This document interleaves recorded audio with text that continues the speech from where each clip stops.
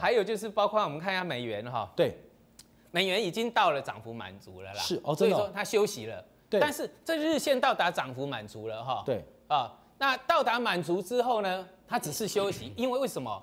因为上次包括木华哥上次不是拿了一个长线的结构，对，这个美元指数几乎是从苍天上掉下来，好不容易才做一个突破，所以这个地方哈、它是属于一个呃短线休息，它长多的休息。对长多的休短，它将来还有波段应该还不小，哦对。不是只有这个样子，所以，当美元假如最近开始拉回休息啊，因为涨太多嘛哎，像台币就只升回贬嘛，这只贬回升啊。哎。那黄金跟油价就有机会反弹，因为油价跌，黄金跟油价就顺势谈一谈啊。来，它刚好就是个这个整个结构刚好就这个样子哎，哈、老师，那农历红包之前，你讲红包行情。所，以你看哈、红包行情我们一直强调哦，呃，本来在前几上个礼拜的时候，对，本来也有有一些灌杀量啊对。保守的那个卖盘出来了，对，好、那但是问题就是说，刚好你去看德国股市，对。也往上创新高了，创高了，对。对，然后你看西班牙，他们本来要破底的股市，现在也开始止稳了。礼拜四欧洲 QE 那个是超级大的消息、啊，对，所以呢，这一次就有助于我们整个这个呃